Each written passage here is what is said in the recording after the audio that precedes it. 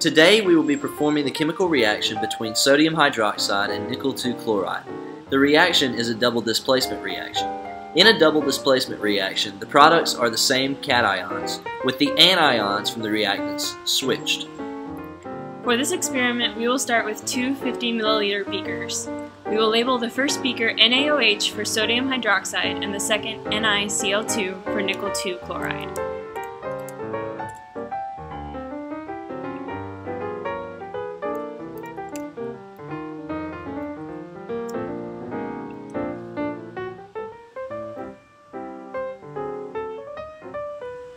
In the first beaker, we will place 15 milliliters of sodium hydroxide solution.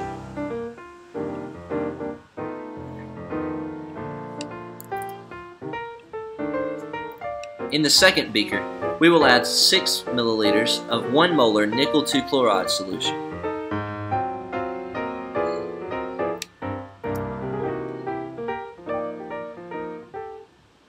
Taking a moment to observe the two substances, we notice that the sodium hydroxide is a grayish aqueous solution and the nickel 2 chloride is a bright green aqueous solution.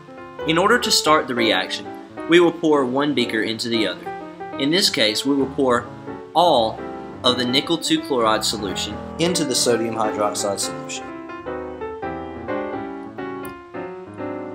Again, we take a moment to observe. The reaction has produced a green precipitate.